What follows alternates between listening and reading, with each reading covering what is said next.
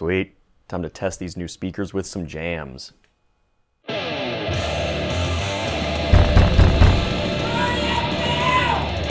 Looks like I won't be able to blast my music after all, but there is a way I can listen to music without interrupting others.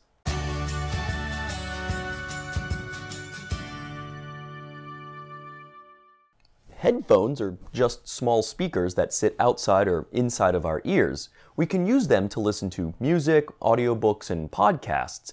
Interestingly enough, we can create simple music using our microbit, and we can play these sounds through a speaker, or if we don't want to disturb anybody, through some headphones. But first, let's look at how speakers work.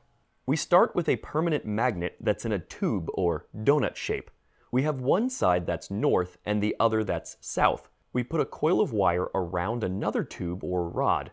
Together, this coil and rod are known as a voice coil and they move independently in and out of the magnet's hole. When we put an electric current through the wires on the voice coil, we create an electromagnet. One side will be north and the other will be south, just like our permanent magnet.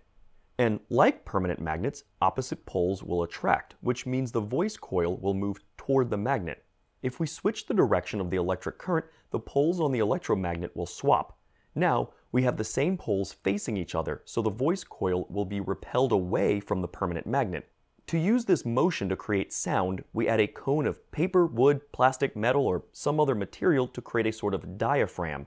As we switch the electric current back and forth, the voice coil moves in and out of the permanent magnet, which moves the diaphragm. This rapid back and forth motion creates pressure waves in the air, and we call these pressure waves sound. You can see the individual parts clearly on this small speaker. The permanent magnet is visible on the outside of the voice coil, sitting underneath the clear plastic diaphragm. The upper lip of the diaphragm is held to the metal casing by a flexible suspension material. The voice coil is held in place by a ring of flexible material known as a spider, which allows the voice coil to move just up and down. If I switch the electric current back and forth through the speaker really fast, like 20 times per second, you can see the speaker diaphragm vibrate. However, you can't really hear 20 hertz. Now, if you change this to 440 hertz, the note A4, you can hear it. The problem we run into with most speakers is that it takes a lot of force to move the diaphragm back and forth. Well, relatively a lot of force. I can move it easily with my hand, but it takes a lot of electricity to make the electromagnet strong enough to move it. In order to produce the electricity necessary to drive speakers like this, we need a special piece of hardware known as an amplifier. An amplifier takes an electric signal, say your favorite song, and then increases the amount of current going out to other devices, like speakers. Some amplifiers can be small, like this simple board, and they're good for driving small speakers like my clear plastic one. Some amplifiers can be big, like the one built into the stereo receiver. These are capable of powering large home theater sound systems with multiple speakers. These shelf speakers have built-in amplifiers, but even if you don't have an amplifier available to you, you can still power very small speakers with the microbit, like the ones found in headphones. If you pull apart the casing on most headphones, you'll find a small speaker for each ear. Let's use this to play a song. To get music from your microbit, connect an alligator wire to the ground pin, we'll use black, and connect another to pin 0, white in this case.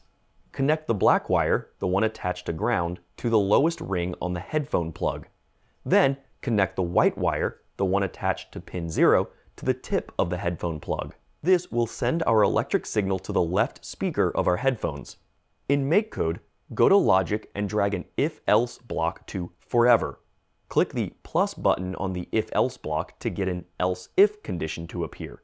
From input, drag button A is pressed block to the if condition. Drag another to the else if condition. Change the second one to button B. From music, drag a ringtone hertz underneath if and drag a second one to underneath else if. If you click on the tone, you should see a keyboard pop up. We'll use it to change which note is played. Change the button A note to middle E, and change the button B note to middle G. We want the notes to stop playing whenever we release the buttons. Click on Advanced and open Pins. Drag a digital write pin block to underneath Else. We'll want pin P0 to be set to 0 when no buttons are pressed. Download and copy this program to your microbit. You now have a super simple instrument. Press the A and B buttons to play some kind of two-note song.